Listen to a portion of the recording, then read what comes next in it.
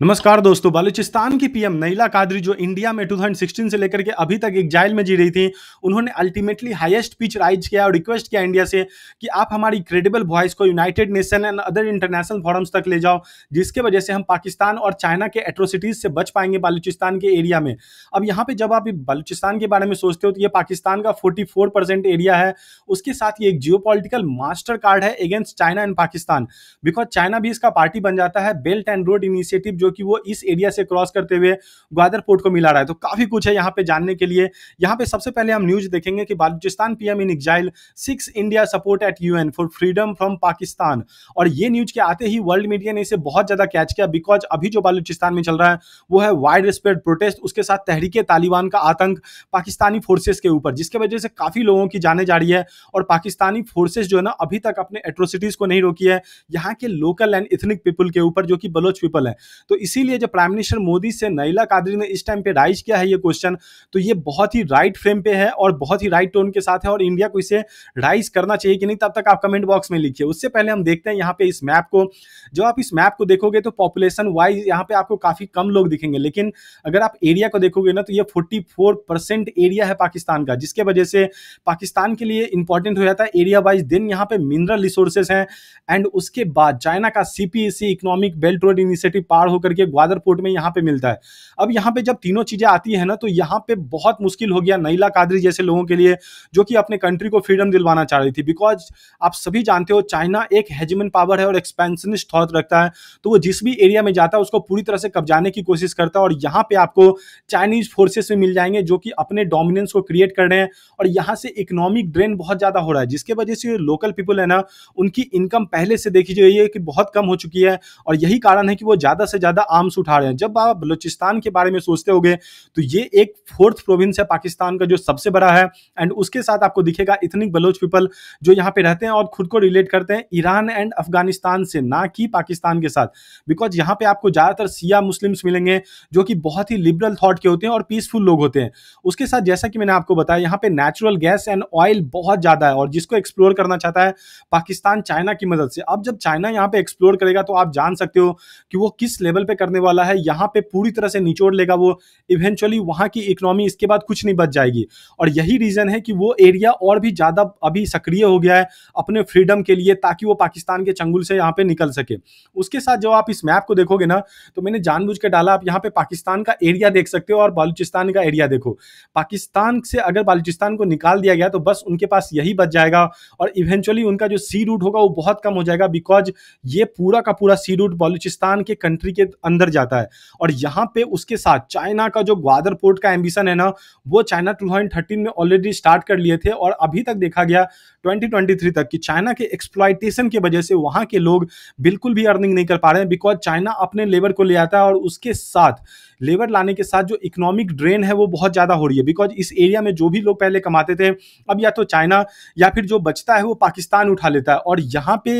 ये जो belt road initiative है वो हमारे पाकिस्तान ऑक्यूपाइड कश्मीर के थ्रू तो जाता ही है। उसके बाद ये यहाँ पे ग्वादर पोर्ट पे आके मिल रहा है और ये एक गेटवे हो जाता है चाइना के लिए अंदर आने का। अब जब आप वर्ल्ड मैप देखोगे ना तो आपको दिखेगा कैसे एक्चुअली अरबियन सी से चाइना खुद को कनेक्ट कर सकता है ग्वादर पोर्ट से और कनेक्ट होने के बाद वो इंडियन ओशियन में आसानी से आ जाएगा और इसीलिए एरिया बोला जाता है कि यहाँ पे ग्वादर पोर्ट के थ्रू चाइना एक्चुअली खुद को डेवलप कर रहा है स्ट्रिंग ऑफ़ पल्स थ्योरी और जिसका काउंटर इंडिया करता है by necklace of diamond Chabahar port को बना करके ईरान में। लेकिन जब जब ये पोर्ट देखोगे ना तो ये बहुत ही बड़ा है और ये नेचुरल हार्बर है, जिसके वजह से यहाँ पे आसानी से शिप्स आ सकती है और एक इकोनॉमिकली वेल डेवलप्ड हो सकता था ये फ्यूचर में। लेकिन रिसेंट में ये डेवलप होने के बाद भी अभी देखा गया कि यहाँ पे इकोनॉमिक प्रॉस्पेरिटी बहुत ही ज़्यादा कम है बिकॉज़ यहाँ पे हेजिमेंट क्रिएट करता है चाइना और उसके साथ तहरीके तालिबान का डर रहता है, इसलिए लोग अपने ज़्यादातर शिप्स को इस एरिया में ले भी नहीं जाते हैं। तो पाकिस्तान का इकोनॉमिक बेनिफिट तो यहाँ पे रह ही जाता है, उसके साथ चाइना का जो स्ट्रेटजी गेम था ना,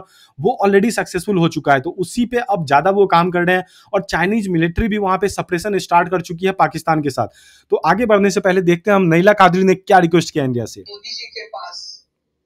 और बीजेपी की सरकार के पास शायद कल ना हो। तो आज बलूचिस्तान को उनके प्रोएक्टिव रोल की ज़रूरत है। जो लाल किले से बोला था, उस पर अमल करने की ज़रूरत और आज भी भारत में जितना आतंक है वो ना पाकिस्तान से ही आ रहा। जो ना पाकिस्तान है, उसने बलूचिस्तान जो एक आज़ाद मुल्क था, उस पर कब्जा किया फौज भेजकर। और इस फौजी हमले से जो बलूचिस्तान में इस वक्त हालत है, वो ये है कि बलूचों को एक ऐसे मार रहे हैं, काट रहे हैं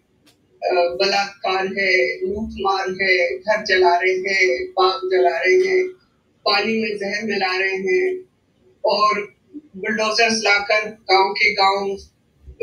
जो है वो तबाह कर रहे हैं। तो यहाँ पे आपने देखा कैसे उन्होंने एक्सप्लेन किया बिकॉज़ ये news all over world media में पहुँचती नहीं है बिकॉज़ उसे पाकिस्तान और चाइना दोनों मिलकर के दबा दे रहा है वहीं पर। रिसेंट में तहरीके तालिबान के बारे में आपने सुना होगा कैसे उन्होंने हैवो क्रिएट करके रखा है बलूचिस्तान में, पाकिस्तान के फोर्सेस के ऊपर, और इसके वजह से वहाँ पे पाकिस्तान के फोर्सेस की जान गई है, और इसका कारण है पाकिस्तान का एट्रोसिटी जो कि वो सालों से करता रहा था, और यही कारण है कि ये बोला जाता है कि अगर आप अपने बैकयार्ड में स्नेक पालोगे तो वो आपको भी काटेगा। तो पाकिस्तान जिस टेररिज्म का यूज़ कर रहा था, अभी खुद उसका शिकार हो चुका है। बिकॉज़ यहाँ पे लोगों के ऊपर जो एट्रोसिटीज हुई और इकोनॉमिक बेनिफिट कम हो गए तो लोगों ने आर्म्स उठा लिया और उस आर्म्स को अगेंस्ट पाकिस्तान यूज़ किया है, जो कि आपको इस न्यूज़ में दिख रहा है। उसके साथ जो आप देखोगे बी का नेरेटिव एक्चुअली बालूचिस्तान के लोगों के अंदर क्या है तो ऑल ओवर वर्ल्ड को पता है बिकॉज़ वहाँ पे प्रोटेस्ट के साथ ऑल ओवर वर्ल्ड मीडिया में भी ये आया है कि चाइना के बी को बिल्कुल पसंद नहीं करते, वहाँ के local people ethnic Baloch people और वो उसके अगेंस्ट है। तो इन फ्यूचर अगर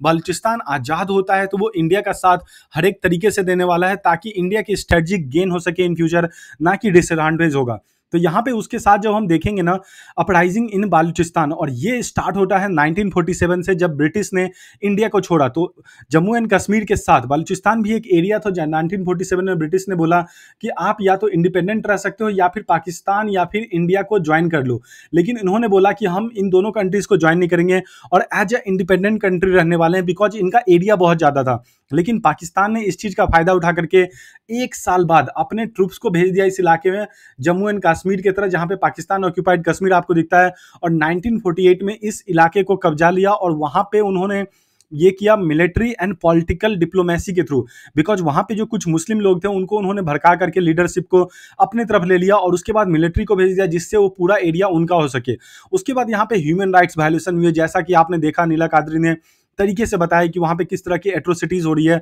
सिंस 1947 और उसे रोका नहीं गया अभी तक। उसके वजह से लोगों ने वहाँ पे आर्म्स उठा लिए और आर्म्स उठाने के साथ वह जब उन्होंने आर्म्स उठाया ना तो ये बोला गया पाकिस्तान के द्वारा कि ये इंडिया के द्वारा किया जा रहा है। लेकिन आप सबको ये क्लियर बता दूँ मैं कि इंडिया कभी भी किसी दूसरी कंट्री के इंटरनल अफेयर्स में नहीं बोलता है। और हमने टू से पहले बालूचिस्तान का नाम नहीं दिया था, लेकिन जब टू में पाकिस्तान ने अपने पार्लियामेंट में एक लॉ लाया और कश्मीर को एज अ फिफ्थ प्रोविंस अपना घोषित कर दिया। तब इंडिया ने डायरेक्टली वॉइस राइज किया टू में और ये बोला कि बलोच एंड गिलगिट के लोगों को आज़ादी मिलनी चाहिए पाकिस्तान के एट्रोसिटीज से और उनके इंडिपेंडेंस डे के स्पीच जो कि टू में प्राइम मिनिस्टर मोदी ने दिया, उससे ये बात लाल किला में उन्होंने किया था।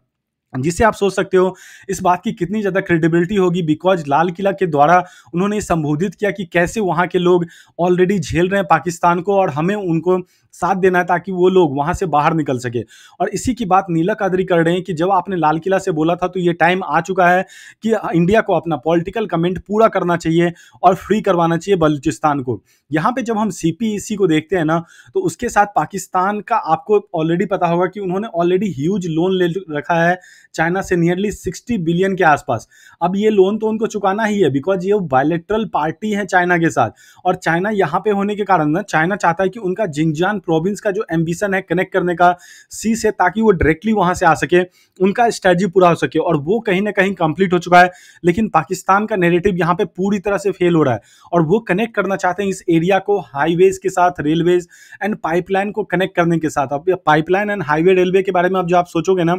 तो सिर्फ़ सिर्फ़ से कार्गो लाने के लिए यूज़ नहीं होगा। इवेंचुअली यहाँ पे मिनरल रिसोर्सेज को निकालने के लिए चाइना बहुत ही ज़्यादा यूज़ करने वाला है, जिसके वजह से उस एरिया में फ्यूचर में जाकर के कुछ नहीं रह पाएगा उनके इकोनॉमिक गेन के लिए। और उसके साथ जब आप ग्वादर पोर्ट की बात करते हो तो चाइना को ये एक्सेस देता है इंडियन सी के लिए। इसीलिए इंडिया कभी नहीं चाहेगा कि ये स्ट्रेटजी कार्ड इंडिया के हाथ से निकल जाए। इन फ्यूचर आपको हो सकता है, देखिए कि इंडिया बहुत ही वाइड स्प्रेड प्रोटेस्ट करेगा बालूचिस्तान की फ्रीडम के लिए। तो आप क्या सोचते हो? ज़रूर बताइए कमेंट बॉक्स में, बालूचिस्तान को फ्रीडम मिलनी चाहिए कि नहीं? तब तक के लिए thank you for watching keep striving for knowledge